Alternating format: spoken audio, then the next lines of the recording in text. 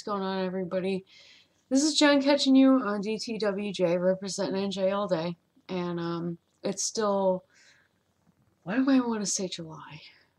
I'm so weird. I still. Yeah, anyway. It's uh, March the 3rd, same day. Um, just like an update. Still. I'm just going to be updating for as long as I need to. Um, I'm not Little Miss Perfect. I never was. Uh, so for any asshole out there that is trying to look at me and be all like, look at Little Miss Perfect over here dealing with stuff sober. Um, I went to the store. I did. Cheers, big ears. I did. Know why I went to the store? Be real honest because over the course of the past, I don't know how many fucking days, I found out the 26th this happened. So we got 26. It was that evening on the 26th. So 26, 27, 28, the first, second, third. It's been five days. I've had four days to process all of this sober instead of um, numbing myself I'm not numbing myself now. Right now, I'm actually trying to relax a little bit because I've been working my ass off. Um, it's also the first day I left my house since AJ had passed away. And I'll be real honest. Okay, listen. I have them right here. These glasses, okay? They're transition lenses, so after a while, they become sunglasses. Nobody has to see my eyes. It's still winter. It's going to be snowing this whole week. Temps are mad low. What do I have to do? Bundle up, baby. Um, yeah, so sunglasses, bundling up. I have the, the head headband on. I got my hood up. Uh, the part of my jacket that zips up. I just do one of these to cover my nose and mouth so I could stay warm while I'm walking. And I was just doing that. That's exactly how I wanted it. That's actually how I wanted it about like two days ago when I ordered food and uh, for delivery. I got Japanese and Chinese from the same restaurant. It was awesome. Uh, yeah, I got the kung kung pao or yeah kung pao tofu and uh, salmon roll. That with some wasabi and soy sauce and I'm a happy lady. Um, so I got those two things. And I just I, I wanted to go there so bad just because like I really love how that place feels. And I thought that it would be healthy for me but to deal with people on the way there, especially drivers, they suck. Not even funny. I couldn't put up with it. Not when I'm mourning. I can't. I fucking can't. Uh, just going on the way to the store, I saw a man that was disabled and he was walking funny. I don't know how to describe it. I'm sorry. Um, I don't know exactly what the name of the disease is, but it like kind of takes your legs out, so like you walk funny. And I was just so fucking sad to see it, because like it was in like a big intersection in town where the people are less likely to drive carefully and care about the pedestrians. And um excuse me, I need to move that over because I'm getting notifications on Facebook and I really don't want to deal with it right now. Um, the most difficult intersection to be crossed, he was trying to cross it. And he ended up like trying to walk as fast as he could, which is really fucked up. You know, that, that actually hurt me to see that. The fact that like he wasn't he wasn't that old at all. But he had to do that. Because you got cars whipping around, cars whipping around, cars trying to get fight each other. Never mind having regard for pedestrians. Of course, he felt the need to run as best as he could across the street. That always upsets me.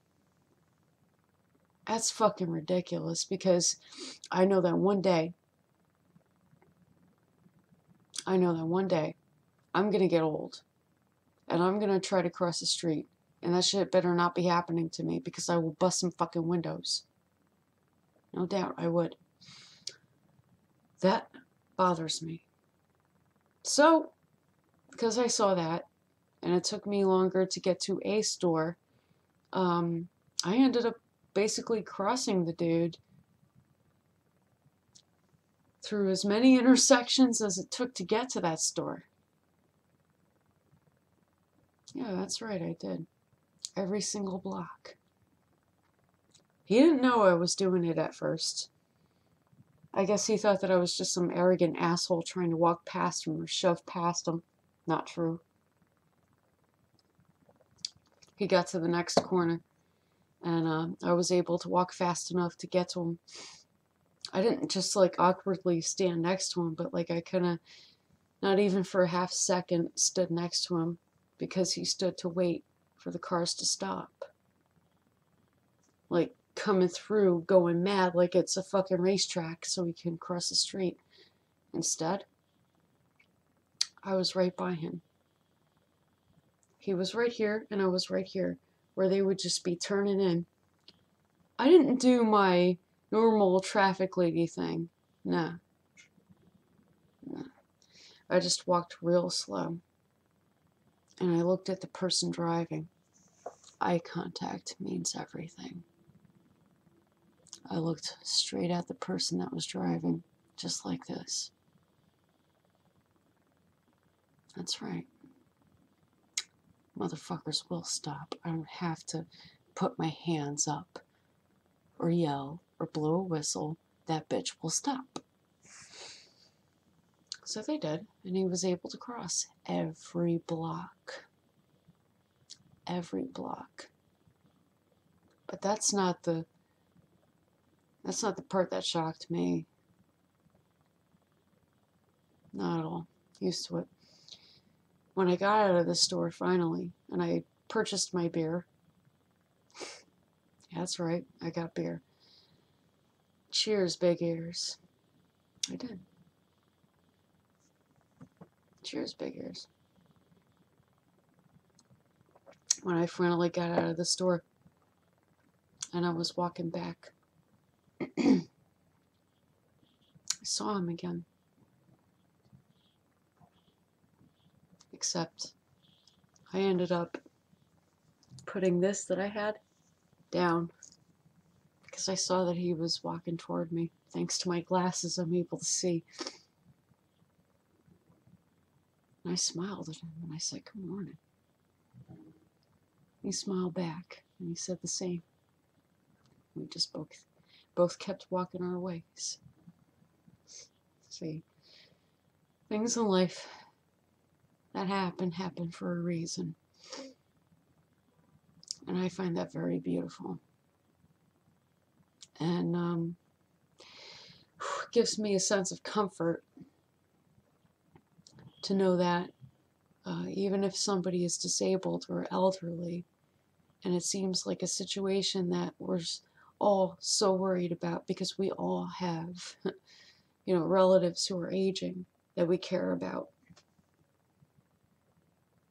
Maybe we just care about somebody that we happen to witness in a situation and we want to look after them because we care. We can't control everything that can happen, but at the time that we're present, we can make it better and uh, that hmm, that fills me with a lot of hope.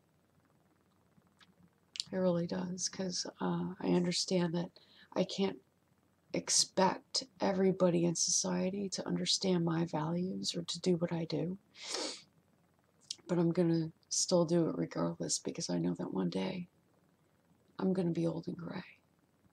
And I'm not going to be able to walk as quick. I'm going to need somebody to look after me, related or not. That's just something that, you know, really hit me today. And I think that, you know, when things like things like death happen, you're able to kind of zero in on life a lot uh, a lot closer. You're able to see, sense everything completely with all the senses that you have. And because of your attention to those things, some of the most meaningful things can happen. Does it give me hope? A little bit. It does. Uh, not completely, though, because I know that the majority of society is selfish. But I can only do my best every day. And um, that's part of my mourning process right now is to do the best that I can every day. And that's exactly what I'm doing. No. not by a long shot. I am not perfect but I always do the right things. And I always do my best. It's been Jen catching you on DTWJ, keeping it real as always. See you on the next one.